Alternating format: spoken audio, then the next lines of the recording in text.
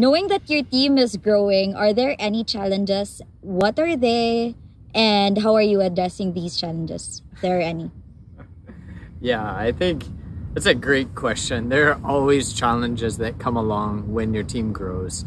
I think in the history of Symph, we've sort of gone through a few different phases of, of team size. Right now, we're closing in on 100. And I think one of the big challenges that we face right now is keeping our culture, right? Like we really invested heavily in keeping our culture. And as you grow mm. a company, it becomes really challenging to think about how do we make our culture stick with us. Albert, you've been talking about this. You had some interesting conversations. What are your insights? Yeah, all I can think of is I'm staring at that until over there, just at the appropriate time that you asked this question, which makes me think like this is like a super organism or like they're aligned in what they do, even though there's a lot of them. So, yeah, growing presents its own set of challenges, and primarily because humans are not like ants, um, where you know they're they they have a hive mind. Uh, each person is unique and they have their own way of thinking, and and when it's a smaller team and a smaller company um, people can be aligned quite easily. But as you grow and as we're growing, it, that becomes a serious challenge of keeping that alignment. And so, to be honest, it becomes harder to get things done quicker uh, in a large, uh, larger team and larger company.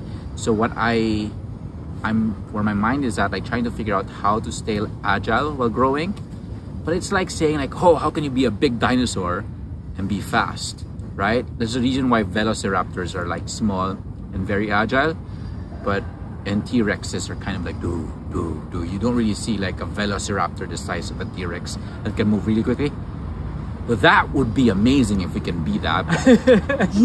but, the dream of every corporation. Yeah, we're big and fast. and fast. And all things beautiful. Yeah. Um, but yeah, that's that's the major challenge is deciding on and you stepped on the anthill so that might be bad for your feet. Yeah, so that's a major challenge. Okay. We just continue? Um, what do you think about the Web3 scene? Ooh. Oh, wow. Loaded question right now. um, yeah, we're in the aftermath of the FTX liquidity crisis, um, looking like it's headed towards bankruptcy. We're actually in Singapore right now, um, where Binance is headquartered, but actually doesn't have a license to operate. So users in Singapore can't use Binance um, to buy crypto and things like that. So Binance was looking like they might bail out, but then after some of their due diligence, decided that no, um, they they can't. So Web three, what do I think about it? Um,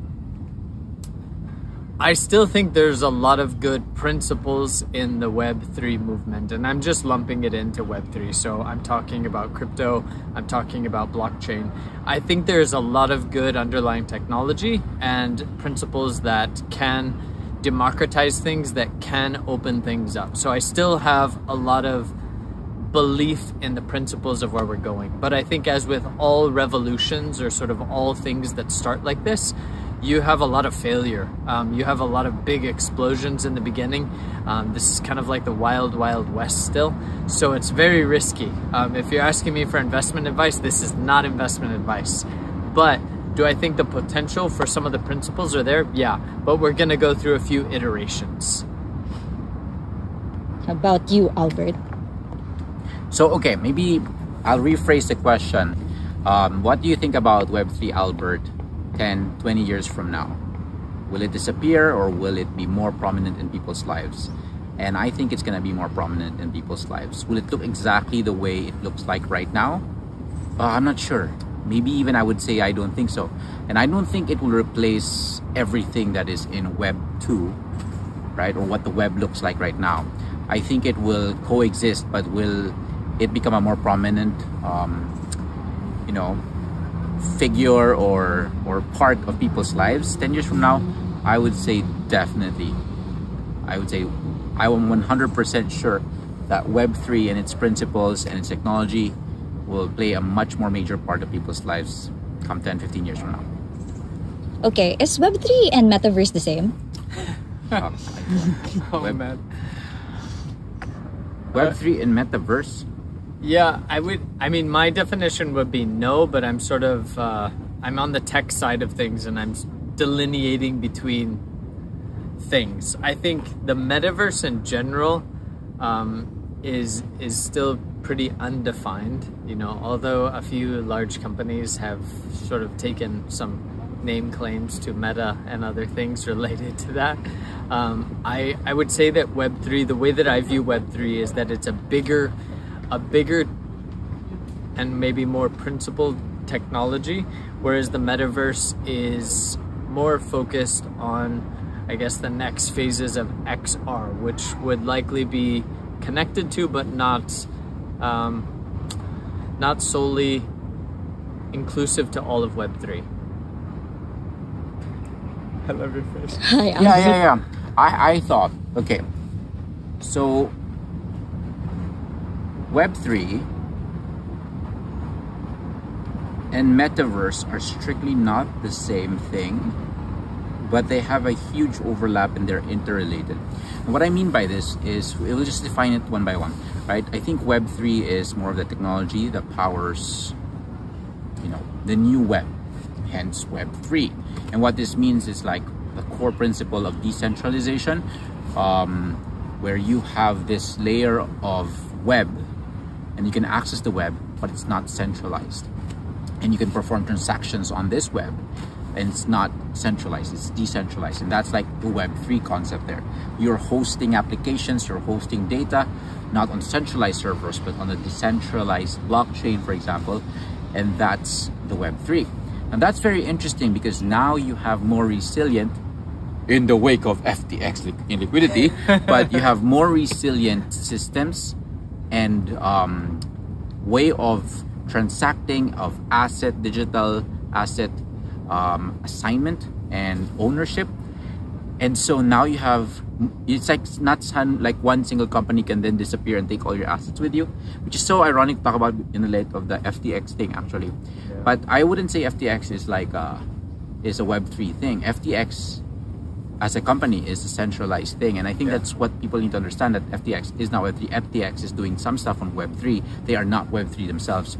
But the principles of Web3 do power the metaverse. So what is the metaverse? Basically, a metaverse is just another layer of reality, right? So for example, what is our layer of reality? Right now, we interact with each other. We own assets like we own property, we own land, we own cars. But really, do we own these things? Like ownership is such a just a civilization construct, the social construct. It is not real, real. It's not like laws of physics decided that you will own property. Yeah. Right? You, we don't have such things, but we as a society created this new reali- reality, which is people can own stuff and society enforces that. Now, with Web3, it extends into this digital assets where you can start to own things that you don't even see. I mean, that are not in the physical world. Like for example, NFT art, you know, mm-hmm. NFTs, like these are not physical stuff, they are digital. And now society has provided a way for us to own these things using Web3 technologies. And so this whole concept of the metaverse is just another universe of things and the way society has said like that you cannot participate in this new reality that we've created as a society and that's the metaverse now, when people say metaverse, sometimes you always just think virtual reality, but it's not equal as well. To me, metaverse is anything that's not real, but society can make it real, like owning stuff on the internet, in a web, like NFT. Like, how can you own a picture, right? But in the metaverse, you can, if enough people are convinced, right? Yeah. yeah. So it's a social construct. It's a social construct, construct, construct that yeah. goes beyond the physical world into the digital world. Right. And that's the metaverse. Yeah. And again, like, you know, there's even land. You can buy land in the metaverse, right? But again, it's on this underlying Web3 technology, yeah, yeah. like the blockchain. Because imagine if you can buy land on the metaverse, but then it's because, for example, Google is selling it to you, or a centralized company like Facebook, or a company is selling it to you, and you buy land from them, and those that land in the digital world is hosted on their servers, then it's not resilient. Meaning, if they close, it disappears. Yeah. Right. If if um, that company that sold you the land If they close down, then it disappears. It's not technically the metaverse. It's not re- it's not resilient to, to to sustain over a long time. But with decentralization like Web three, not a single company will host those things. Right. It will be society as a whole. So what upholds the metaverse is society. So the moment society then crumbles, then that's pretty much the end, right? But it's much more resilient than just a single company, you know, owning that. Yeah. Okay, so I hope that made sense. yeah, that made sense. Um, so being a technology company, is Symph participating in this Web3 and Metaverse scene? If so, what are the activities that you have in your company or, you know, things that you are doing with regards to these technologies that we're talking about? Okay, because I'm a tech guy. Um, so the answer, the short answer is yes, we're participating. Into what capacity? So, for example, in Web three, there are there's technology. So, number one, people are working on stuff that are Web three related. Um, there are specific technologies that you need to learn in order to participate in the Web3 or to build stuff on Web3. So we're doing that. There are some people in Symph actually doing that. Um, I would say we are also putting efforts to make everyone more excited about this concept of Web3. And this is where company crypto bonus Yeah. comes in, like where we give people bonuses In crypto. in crypto. And yeah, of course, it like fluctuates with the nature of crypto. But Yeah. that's the whole um, concept is by giving people crypto, you allow them to start owning assets in this Web3 Yeah. um, that allows them to start to dabble into it and participate when otherwise they might not if we did not give them anything. So maybe I'll throw the question back to you. Like, what did you do with your crypto? What NFTs? Swap, okay. pooling, farming. How about you there? Yeah, I mean, I think we we aren't building a Web3 startup at this time. You know, we haven't really. We have some ideas though. Yeah, we have some ideas, but we haven't built anything yet.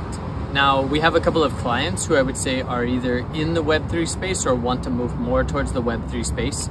Um, the way that I use Web3, actually, Metaverse is part of that, right? So if they're already doing stuff in the Metaverse, I I kind of see Web3 as the overarching um, technology term that, that I would use, um, and Metaverse is just a component there. Then I think, um, you know, there is a project we're working on right now. I can't go into a lot of detail, but we are using a lot of the tools of, say, like NFT creation to do some interesting things with art and design. And so I'm excited about that. I think, again, as Albert mentioned, I don't know that Web3 is just going to wipe out Web2, right? Like, even if you look back at Web1 to Web2, it, it isn't just this like suddenly one turns off and the other one turns on. There will be progressions. There will be things that work in Web3, and there will also be things that just don't work in Web3. And we have a lot to figure out. Web3 is very early and young. Um, you know, if you're looking into the Web3 space, I would say go for it, dive into it, learn about it, but have a real a real trajectory that it's probably 5 to 10 years before it really goes mainstream. You know, and and I say that just to give you a balance of your perspective. Like don't study this now and then in 6 months expect like your parents to pay you in crypto. Um, I don't know that that's going to happen, right? But should you be wise about it? Should you be getting in early? I think there's an opportunity there. Again, this is not investment advice, but I think learning the technology, having your feet wet, knowing what's going on, knowing some of the core principles there will serve you very well for the future.